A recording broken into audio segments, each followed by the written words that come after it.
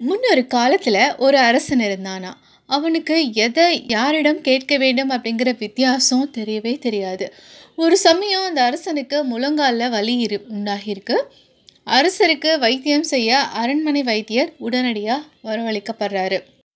அரண்மனைக்கு வந்த வைத்தியரும் பொடுதலையை வச்சு கட்டினா வலி சரியாயிடும்னு சொல்லிட்டு அதை எடுத்துகிட்டு வர்றதுக்காக போயிட்டாங்க. பட் அரசருக்கு வைத்தியர் வரும் வரையிலும் வலி தாங்கவே முடியல.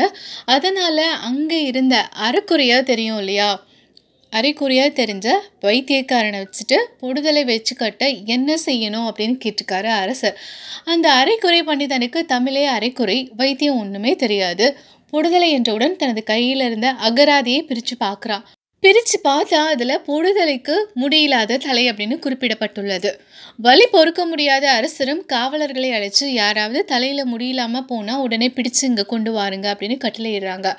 அரசனோட காவலர்களும் சாலையில் சுற்றுமுற்றும் பார்க்குறாங்க. அப்போ ஒரு மொட்டை தலையன் அந்த வழியாக போகிறான் காவலர்கள் சும்மா விடுவாங்களா அவனை பிடிச்சிட்டு வந்து அரசனோட முன்னாடி நிறுத்துறாங்க. அரசரும் உடனே நம்மளோட வைத்தியர் சொன்னது போல செய்யுங்கள் அப்படின்னு ஆணையிடுறாரு. வந்திருந்த மொட்டை தலையாசாமிக்கு எதுவுமே புரியல. ம் சீக்கிரம் இவன் தலையை எடுத்து கொண்டு வாருங்கள் அப்படின்னு அரசு ரொம்ப கோபமாக அவசர அவசரமாக சொல்லிட்டு இருக்கப்பவே அரண்மனைக்கு வைத்தியர் மருந்தோட வந்துட்டாரு. அரசனின் காலுக்கு மருந்தை கட்டிவிட்டு மன்னா எதற்காக இவரது தலையை எடுக்க வேண்டும்? சொல்லுங்க அப்படின்னு கேட்குறாரு வைத்தியர். நீ தானே புடுதலை வச்சு கட்டினா வள்ளி போயிடுன்னு சொன்னீங்க.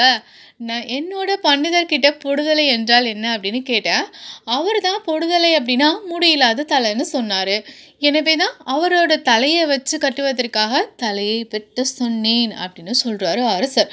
வைத்தியர் புடுதலை என்பது ஒரு இலை அப்படின்னு சொல்லி எக்ஸ்பிளைன் பண்ணுறாரு இதை கண்ட மொட்டை தலையனும் ஐயையோ நல்ல வேலை நான் தப்பிச்சேன்டா சாமி.